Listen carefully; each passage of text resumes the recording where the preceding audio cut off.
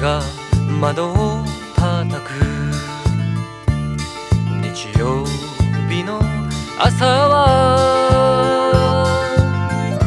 一人になったことをまた思い出す。君のいない朝はこんなにも寂しいものですか？いつも君と二人の朝は踏切の音を数えながら少しずつ開けていったのに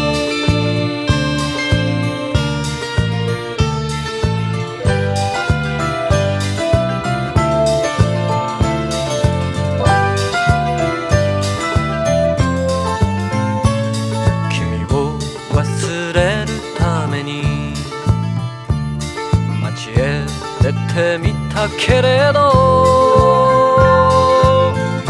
君の思い出に出会ってしまう。電車道に沿って咲いてる名も知らぬ花の色はあの日の君の口紅と同じ。淡いオレンジ色してる。日に焼けた。君に似合ってた。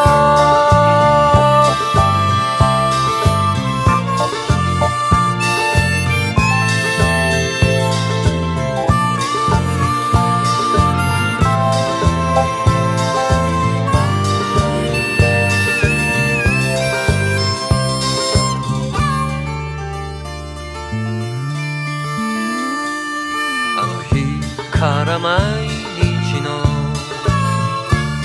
何気ない出来事も君を忘れてゆく歴史の一つ。夏のにわか雨が